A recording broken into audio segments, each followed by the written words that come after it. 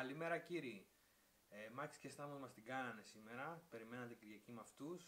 Λοιπόν, θα είμαι εγώ εδώ, θα μιλήσουμε γι' αυτό. Φτιάξτε καφεδάκι, θα το χρειαστείτε όπως και δίποτε. Ρίχνω intro και επανέρχομαι.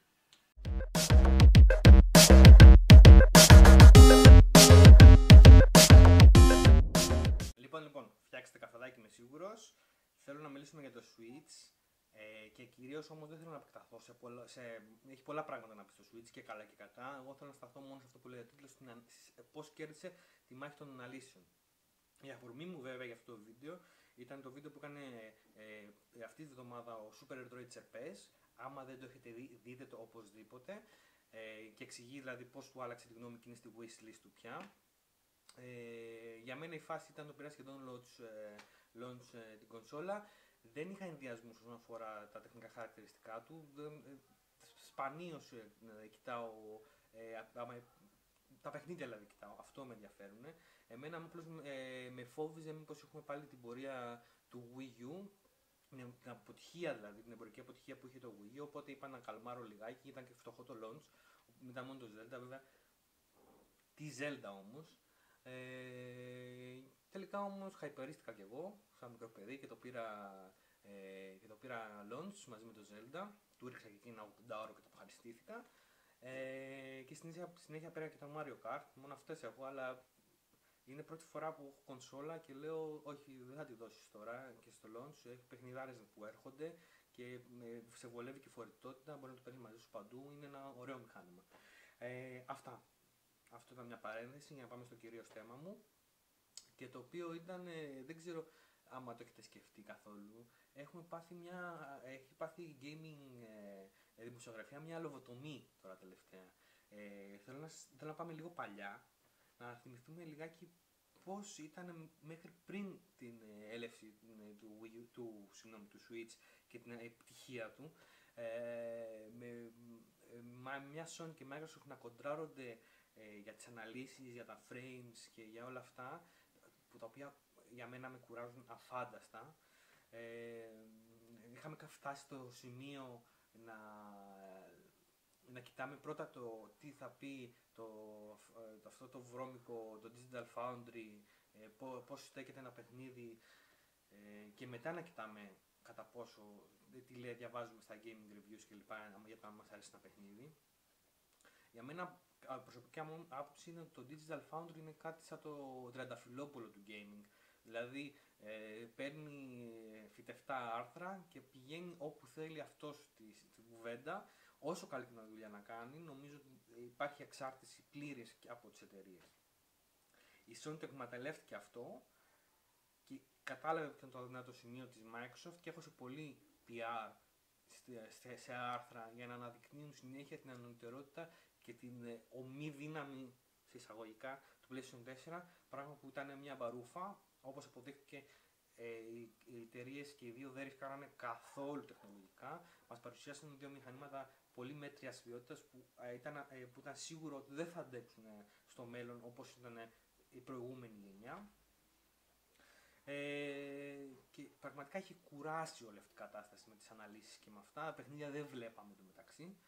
Και φτάνει τώρα και ανακοινούνται τώρα το Switch, τεχνολογικά αδύναμο, με, με, ένα Wii, με ένα Wii U στην πλάτη του να το, να το βαραίνει, μια πολύ φτωχή βιβλιοθήκη για launch.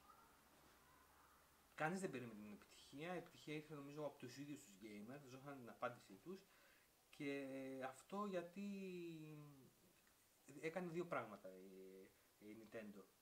Ε, επαναπροσδιορίσε σε δύο πράγματα το gaming ξανά στο τι σημαίνει παιχνίδι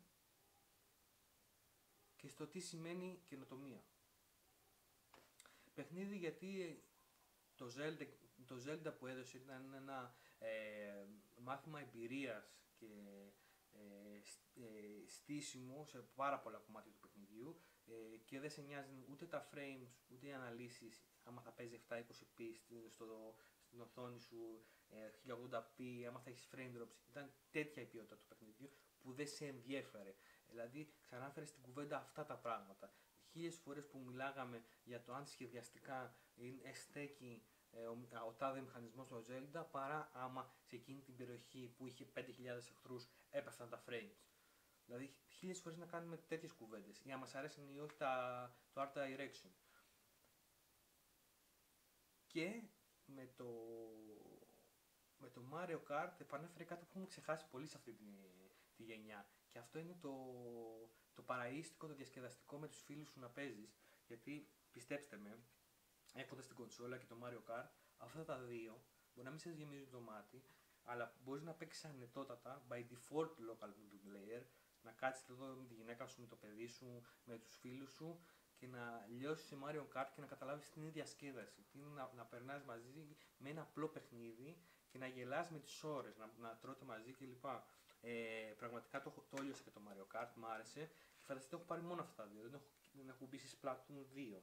Ε, δεν έχω ακουμπήσει. Ποιο άλλο έβγαλε; Ε,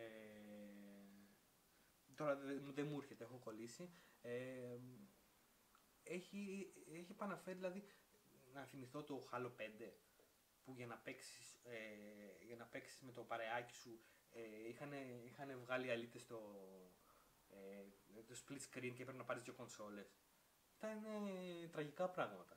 Τέλος η καινοτομία που ανέφερα είναι στη φορητότητα και αυτό είναι που έκανε ε, το Switch τόσο επιτυχημένο. Όχι τόσο ε, αυτό που κάνει δηλαδή, αλλά ότι το κάνει. Δηλαδή ότι μπορείς αυτό το πράγμα να το πάρεις άμεσα να το βγάλεις και να το βάλεις. Είναι πάρα πάρα πολύ πρακτικό. Δεν το φαντάζεστε πόσο πρακτικό είναι. Ειδικά με το Zelda, ε, εγώ ξετρελάθηκα με αυτή τη λειτουργία του και, και με το Mario Kart βέβαια, γιατί το παίρνω και στο κρεβάτι και παίζω και ας μην είναι μεγάλη η, ας μην είναι μεγάλη η οθόνη.